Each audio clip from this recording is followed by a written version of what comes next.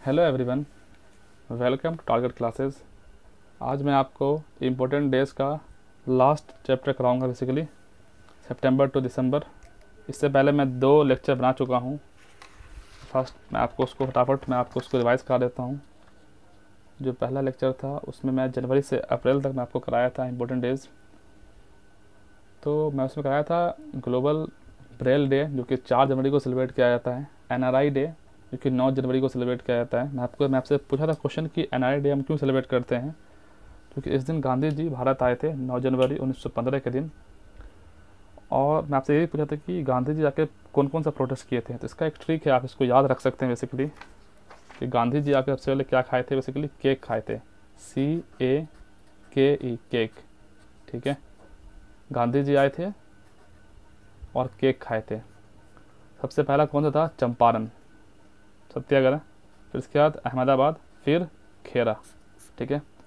गांधी जी आगे सबसे पहले क्या खाए थे? केक खाए थे। सो सबसे पहला कौन सा था? चंपारण 1917 का। ये आपको याद रखना है, ठीक है? चंपारण कहाँ है? बिहार में। और मैं आपको पढ़ाया था नेशनल पार्क में कि वाल्मीकि नेशनल पार्क, जो कि बिहार में ही है, ठीक है? उसके बाद अहमदाबाद, ये तो उसके बाद खेरा किए थे, ठीक है? तो याद रखिएगा, गांधी जी उन्नीस सौ पंद्रह में आते ही केक खाए थे तो सी से चंपारण, ए से अहमदाबाद और खे से के से खेरा ठीक है? उसका नेशनल यूथ डे बारह जनवरी को। तो ये स्वामी विवेकानंद का इस दिन मतलब बेसिकली आपको जन्म होता है, जन्मदिन है, ठीक है? इसके बाद नेशनल इम्यूनाइजेशन डे अट्ठारह जनवरी को था। नेशनल वोटर्स डे पच्चीस जनवरी को था, ठीक है? ये हम बेसिकली पढ़ चुके हैं। और मैं आपसे ये भी पूछा था कि 21 से 18 किया गया था। पहले 21 साल था वोटर, वोट डालने का बेसिकली वो प्रोविज़न फिर बाद में इसको करीब करीब 18 कर दिया गया। तो ये कौन सा कॉन्स्टिट्यूशनल अमेंडमेंट एक्ट था? तो ये वो सिक्सटी फ़र्स्ट अमेंडमेंट एक्ट था। उसके तहत 1989 1988 और 1989 आप दोनों डेट आप उसे काउंट कर सकते हैं। 1989 बेसिकली होता है। तो sixty first constitutional amendment act nineteen eighty nine को 21 साल से घटा करके एज 18 साल कर दिया गया था, ठीक है? वो था नेशनल वोटर डे ठीक है? और वर्ल्ड कैंसर डे, चार फरवरी को, वर्ल्ड रेडियो डे, तेरह फरवरी को हम सेलिब्रेट करते हैं, national science day. National science day मैं आपसे पूछा था कि हम इसको क्यों सेलिब्रेट करते हैं? नेशनल साइंस डे हम सेलिब्रेट करते हैं, उनका बेसिकली एक साइंटिस्ट हैं, सर सी वी रमन के मतलब बेसिकली उस दिन इन्होंने रमन इफ़ेक्ट के बारे में बताया था 28 फरवरी को ही। तो बेसिकली तब से ही मतलब बेसिकली हम सेलिब्रेट कर रहे हैं नेशनल साइंस डे ठीक है? उन्होंने 28 फरवरी 1928 को रमन इफ़ेक्ट के बारे में बताया था, ठीक है? इसके कारण हम 28 फरवरी को हम नेशनल साइंस डे सेलिब्रेट करते हैं। इंटरनेशनल वीमेंस डे 8 मार्च को हम सेलिब्रेट करते हैं। वर्ल्ड कंज्यूमर राइट्स पाँच पंद्रह मार्च को। नेशनल वैक्सीनेशन डे 16 मार्च को। वर्ल्ड स्पैरो डे ये आपको 20 मार्च को, ठीक है? और स्पैरो जो बेसिकली है, ये दिल्ली का बेसिकली स्टेट बर्ड है, ठीक है? और वर्ल्ड वाटर डे 22 मार्च को। मैं आपको बताया था कि वाटर और इंटरनेशनल अर्थ डे दोनों का आप एक तरह से आप याद कर सकते हैं। ये 22 मार्च है और ये 22 अप्रैल है, ठीक है? जलियावाला बाग मैसेकर, तेरह अप्रैल उन्नीस सौ उन्नीस को हुआ था, ठीक है? तो इसी तेरह अप्रैल को हम सेलिब्रेट करते हैं। नेशनल पंचायती डे चौबीस अप्रैल को। मैं से पूछा था कि सबसे पहला कौन सा स्टेट था जिसने पंचायती राज को मतलब बेसिकली इम्प्लीमेंट किया था? वो स्टेट राजस्थान था, ठीक है? वर्ल्ड मलेरिया डे 25 अप्रैल को हम लोग बेसिकली सेलिब्रेट करते हैं, ठीक है? उसके बाद मैं आपको एक लेक्चर सेकंड कराया था इम्पोर्टेंट डेज़ का। तो इंटरनेशनल लेबर डे एक मई को हम लोग सेलिब्रेट करते हैं। International day for biological diversity day 22 मई को। वर्ल्ड मिल्क डे एक जून को। मैं आपसे पूछा था कि मिल्क के लिए हमने कौन सा रेवोल्यूशन लाया था भारत में? तो वो था वाइट रेवोल्यूशन ठीक है? और वर्ल्ड इन्वायरमेंट डे पाँच जून को हम लोग सेलिब्रेट करते हैं। वर्ल्ड रिफ्यूजी डे बीस जून को। तो आप कमेंट सेक्शन में ये बताइए कि रिफ्यूजी बेसिकली आखिर बेसिकली उनकी वो इंक्रीज़ क्यों हो रहा है रिफ्यूजी इन फ़र्स्ट सेंचुरी में रिफ्यूजी इतना इंक्रीज़ क्यों हो रहा है? आप इसके पाँच रीज़न बताइए कमेंट सेक्शन में।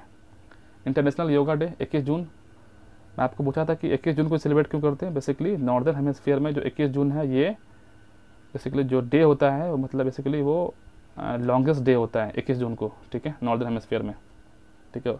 डॉक्टर्स डे एक जुलाई को वर्ल्ड पॉपुलेशन डे ग्यारह जुलाई को। इसके बाद मैं आपसे पूछा था क्वेश्चन कि doctors to patient ratio Bharat में कितना है?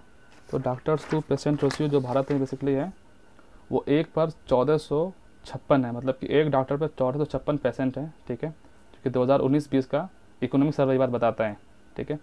और according to W H O ये रेशियो होना चाहिए एक डॉक्टर पे हज़ार पेशेंट ठीक है? इसका मतलब है कि चार सौ छप्पन पेशेंट मतलब बेसिकली ज़्यादा है हमारे यहाँ, ठीक है? तो ये चार सौ छप्पन बेसिकली हमें इसे कवर करना पड़ेगा। तो इसको हम बेसिकली हम कैसे, हम बेसिकली डॉक्टर की डॉक्टर को हम कैसे इंक्रीज कर सकते हैं? मतलब बेसिकली डॉक्टर के, जो डॉक्टर टू पेशेंट रेशियो है, हम उसको कैसे रिड्यूस कर सकते हैं? मतलब कि एक पे हम वन थाउज़ेंड ला सकते हैं, ये हम कैसे कर सकते हैं? इस पर कभी आप सोचिएगा। इस पर कि हम इस, हम according to W H O जो रूल्स है, हम उस पर कैसे आ सकते हैं, ठीक है?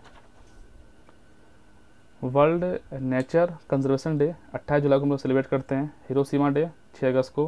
हिरोशिमा और नागासाकी ये दो जगह हैं जो कि आपको बेसिकली जापान में है, ठीक है? और क्यूट इंडिया डेज़ ये आपको 9 अगस्त को है। तो क्यूट इंडिया मूवमेंट 1942 को बेसिकली मतलब स्टार्ट हुआ था, ठीक है? 8 अगस्त, लेकिन हम लोग उसे अगस्त डे ही बोलते हैं, ठीक है?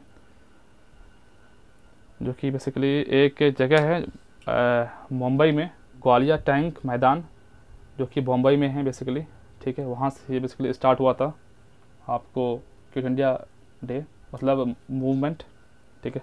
और नेशनल स्पोर्ट्स डे हम लोग बेसिकली उनतीस अगस्त को सेलिब्रेट करते हैं। तो ये था पिछला वीडियो का रिवीजन उसके बाद आज मैं आपको फटाफट सितंबर टू तो दिसंबर बताता हूँ। उसके बाद ये टीचर्स डे फाइव सितंबर को हम लोग सेलिब्रेट करते हैं, ठीक है? वर्ल्ड ओजोन डे सोलह सितंबर को। तो आप मुझे बताइए कि ओजोन का फार्मूला क्या होता है, ठीक है? वर्ल्ड हार्ट डे उनतीस सितंबर को और गांधी जयंती सेकेंड अक्टूबर को, ठीक है? International day for natural disaster reduction ये हम लोग बेसिकली तेरह अक्टूबर को सेलिब्रेट करते हैं, ठीक है? यूएन डे 24 अक्टूबर को यूएन का फुल फॉर्म है यूनाइटेड नेशन डे 24 अक्टूबर को। तो आप मुझे बताइए कि यूएन कब बेसिकली इस्टेब्लिश हुआ था? ठीक है?